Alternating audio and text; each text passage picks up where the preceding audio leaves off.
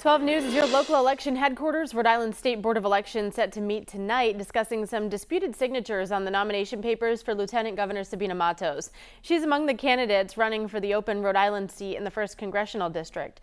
Last week, the board said the signatures had been appropriately submitted, vetted, and verified by local canvassers. The board also said Matos collected more than enough signatures to get onto the primary ballot. Now, along those same lines, Rhode Island Secretary of State Gregg Amore released a statement this morning saying the system for reviewing signatures is working as intended. Going on to say, quote, my office plans to introduce legislation requiring the Board of Elections to implement an automatic review process if local cities and towns suspect forgery or other intentional misrepresentations on nomination papers. Amore said he'll propose that new law for the 2024 legislative session.